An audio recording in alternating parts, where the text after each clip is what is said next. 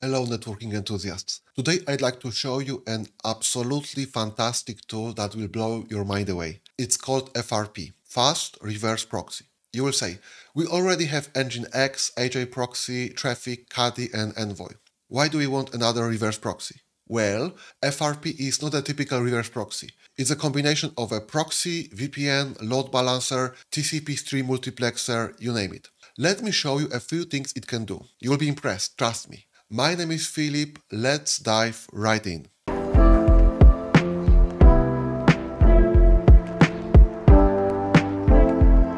Let's begin with a simple scenario. You have a Linux server on your local network running a service that you'd like to access remotely. However, the server is behind a NAT and doesn't have a public IP. No problem, right? You can just install a VPN solution like ZeroTier, Tailscale or any other VPN on the internal server and access it from the remote client. But what if you want to expose the service to everyone, not just those with VPN access? Well, the typical solution is straightforward. Configure port forwarding on the firewall to make the service available to the internet. But what happens when you don't have a static IP or your router is managed by your ISP, leaving you without the ability to make configuration changes? This is where FRP, Fast Reverse Proxy, comes into play. FRP allows you to expose your service to users outside your local network, even if you can modify your router settings. So, how does it work? First, you will need a server with a public IP. For this demo, I will be using a free tier VM from Oracle Cloud to run the FRP server component. Let's start by creating the FRP server configuration file. The first parameter to configure is the server's listening port. Keep in mind, this port is for your backend nodes to communicate with the FRP server, not the port that external clients will be using to access your service. By default, FRP uses the TCP protocol. If your cloud VM is protected by a firewall, you'll need to allow traffic to this port from your backend servers. Alternatively, you can open it to wider internet, but in this case, it's essential to ensure only authorized backend servers can connect. To secure it, we'll add an authentication token as a second parameter. Every backend server must present this token to connect to the FRP server. Now that our server configuration is ready, let's start the server using the command frps-c followed by the configuration file. Alright, our FRP server is up and running. It's listening for incoming TCP connections on port 7000.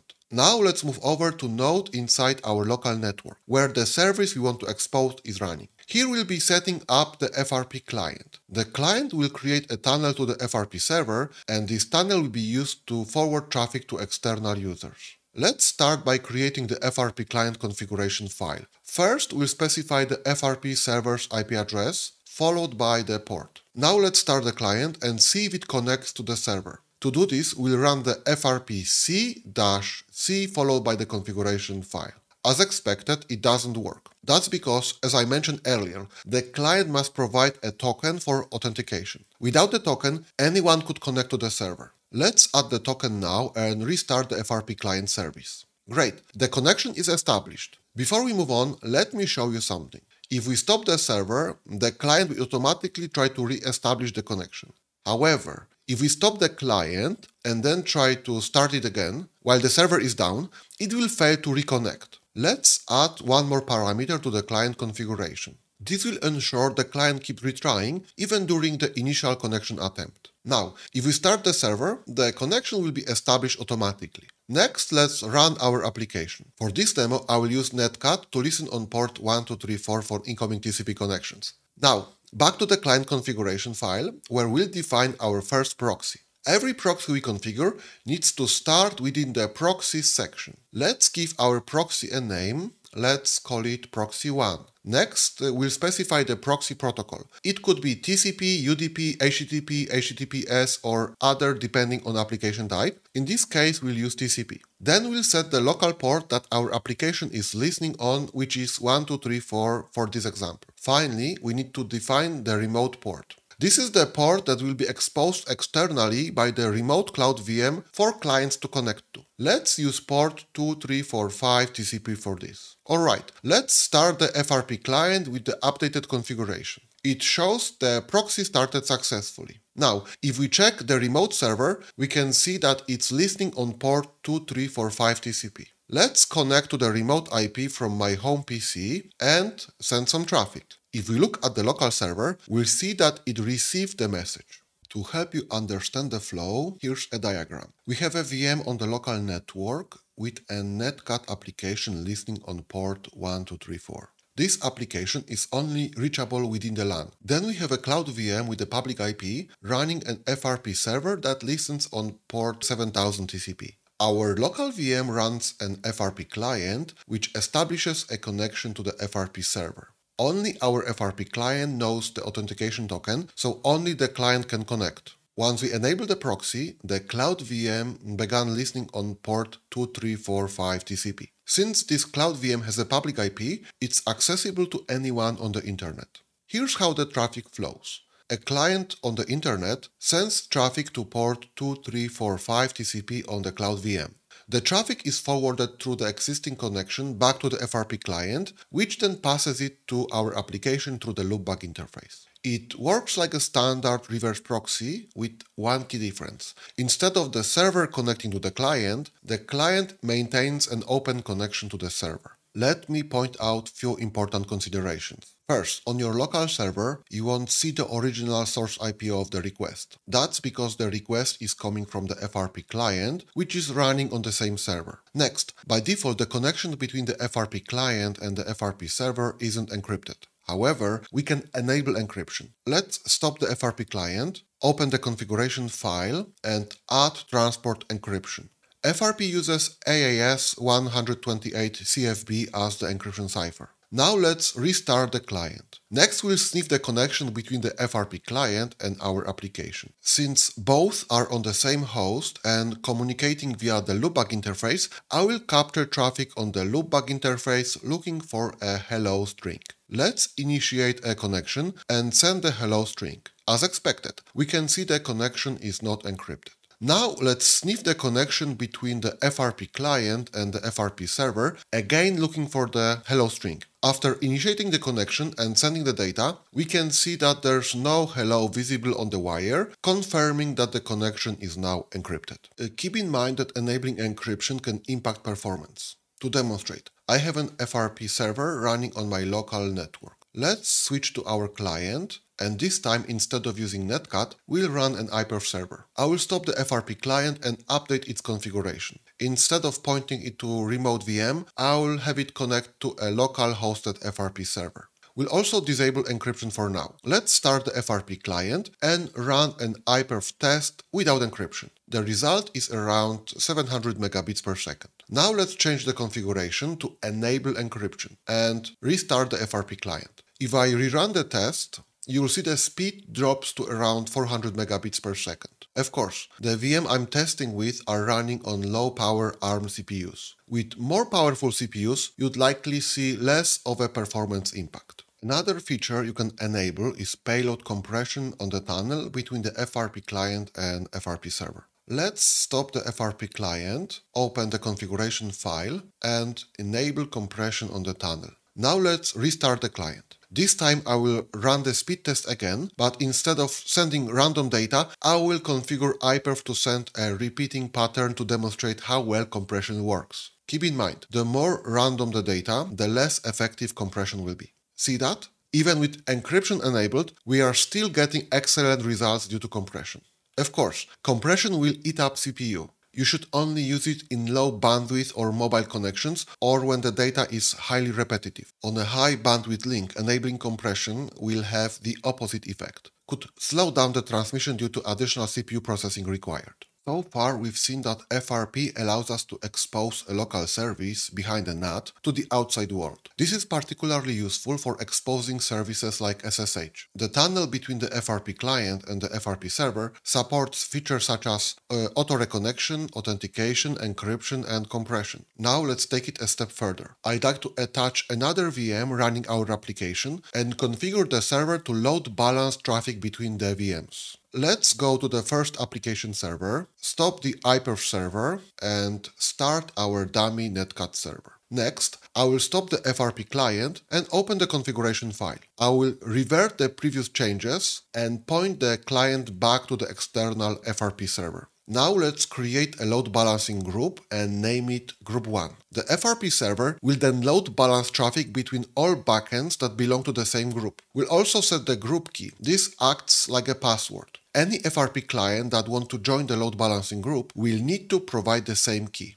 Okay, let's start the FRP client. Now, I will go to node 2, which is our second node, and start the application. I've already prepared the FRP client configuration. It's identical to the one on the first node. It points to the same FRP server, uses the same authentication token, and belongs to the same load balancing group with the same key. The only difference is the proxy name, which I've set to proxy2. Remember, the proxy name identifies a proxy instance and must be unique across all instances. Let's start the FRP client on the second node. If I check the FRP server logs, we can see that both proxy1 and proxy2 are registered under the same load balancing group. Now, let's connect to the public endpoint and send some traffic. Alright, the first connection hit node 1. Now let's rerun the connection. This time it has hit node 2. Let's now stop the application on node 2 and rerun the test. Despite the application being down, the traffic still reached the server, resulting in a connection refused error. There's an easy fix for this. We just need to enable health checks from the FRP server. I will open the FRP configuration file on node 1 and set the health check type to TCP. This means that if a TCP connection to the service can be established, the service is considered healthy. Next, I will set the health check interval to 10 seconds, which determines how often the service will be probed to check if it's healthy. The health check timeout defines how long to wait for the connection to be established. Finally, the health check's max failed parameter indicates how many unsuccessful probes are required to mark the backend node as unhealthy and remove it from the pool. Let's start the FRP client on node 1. Now I will repeat the same configuration on node 2. After that, I will start the application and restart the FRP client. Okay, let's stop the application again. We can see that health checks are starting to fail. After three consecutive failures, the proxy status is marked as failed. If we look at the FRP server, we'll see that proxy2 has been removed from the pool. Now, if we establish few connections and send some data, we'll observe that the traffic is now directed to node 1. Of course, if we check node 2, we'll see that the health check is still probing our application that is currently down. Once we start the application on node 2, it will be placed back in the load balancing pool. You can also secure the exposed TCP or UDP port to ensure only authorized clients can access it. Here's how it works. Both the client and the internal server hosting the service run fast reverse proxy client software. These FRP clients connect to an FRP server, which is hosted on the Cloud VM. When a client wants to access the service, it connects to the local port of the FRP client. The FRP client then passes the traffic to the FRP server, which forwards it to the second FRP client running on the internal server. This client then delivers the traffic to the actual service. It might sound complex, but it's actually quite simple to set up. Let's start by configuring Node 1, which is our internal server hosting the application. First, we'll remove the previous configuration, leaving only the connection to the FRP server. Next, let's create a new proxy uh, which I will call Secure Proxy 1. For this setup, we'll use the STCP proxy type. S stands for secure or secret. Unlike regular TCP proxies, an STCP proxy requires authentication to access. Now we'll provide a secret key which the remote client will need to access the service. Remember, the auth token protects the connection between the FRP client and the FRP server, while the proxy secret key protects access to the service itself. Finally, we'll set the proxy port to 8080 TCP, which is the port our service will listen on. After saving the configuration, we can start the FRP client. For this example, I will run mini HTTP server as our service. Now let's switch to the client machine and configure its FRP setup. We'll remove any proxy configuration and set up the visitors section since the client will be accessing the service. As we'll be acting as a client, we need to specify that in the visitors section. I will name the client Secure Proxy Client 1 and we'll use the STCP protocol here as well. Next, we'll specify the remote proxy name, which is secure proxy 1, and enter the secret key that matches the one on the server side. We'll also configure the port the client will listen on for incoming connections. Additionally, I will change the listening address to accept connections from any IP. By default, it listens only on the loopback interface, but we want to allow access from external sources. Once the configuration is saved, we can start the FRP client. Now for the final test. I will connect from my PC to the client, and voila! My web browser sends a request to the FRP client on port 8080, which forwards it to the FRP server through the secure tunnel. From there, the traffic is routed to the second FRP client on the internal server, where it finally reaches the hosted application. Keep in mind, Node 1 and Node 2 are VMs on two separate private networks. By using a publicly available VM as the FRP server, we established secure communication between those two VMs over the internet. As a bonus, I'd like to demonstrate something really cool. In the previous example, all traffic between the two VMs was routed through the public VM. But what if I told you that in many cases it's possible to establish a direct connection between two VMs behind a NAT? This is known as peer-to-peer -peer mode. In this mode, both FRP clients connect to a STUN server, which helps them discover their public IP addresses, the type of NAT they are behind, and how their NAT is handling port mappings for outgoing connections. Once both clients know their public IP and port, they attempt to establish a direct connection, completely bypassing intermediate servers. This approach uses UDP tunnels. I've already set up a configuration to demonstrate this. Here's a VM hosting our application. I've prepared two proxies. STCP for secure communication via FRP server and XTCP, the peer-to-peer -peer one. Now you may be wondering, why do we need two proxies? Technically we don't. The STCP proxy is just a fallback. If peer-to-peer -peer communication isn't possible, maybe NAT hole punching fails, the connection automatically falls back to STCP.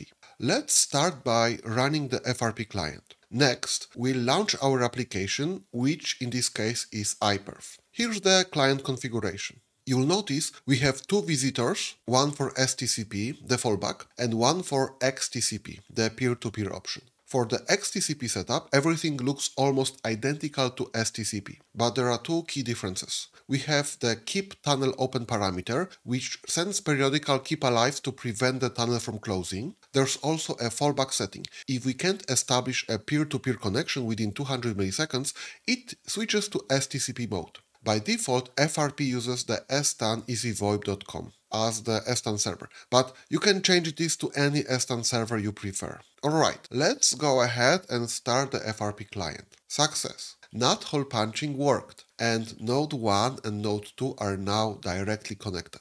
Let's start the iPerf test. Look at that we are no longer limited by the bandwidth of the FRP server, since Node 1 and Node 2 are connected directly via a UDP tunnel.